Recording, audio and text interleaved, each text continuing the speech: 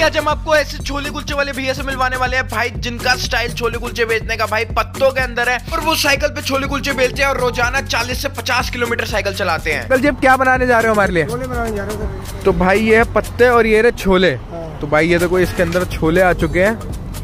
क्या बात है। अभी ये सिंपल छोले हैं। हाँ सिंपल छोले है। अब ये क्या जाएगा इसके बाद? अभी जाएगा। दो नहा दो मतलब बिल्कुल। बिल्कुल देते हैं क्या बात है। अभी मिला रहे हैं बना रहे हैं। गजब भाई साहब। ये गरम मसाला है। हाँ ये देखो गरम है।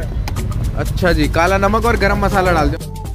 छोले रेडी हो चुके हैं अब कुलचों की बारी आ चुकी है। हमारे कुलचे बनने जा रहे हैं। ये आ चुका है भाई तवे के ऊपर। धनिया। और धनिया भी डलता है। हाँ ये मसाले। और भाई ये देखो मसाले कितने सारे। अब क्या आ गए मक्खन हाँ मक्खन ये तो भाई ये मक्खन आ चुका है इसके ऊपर ये देखो।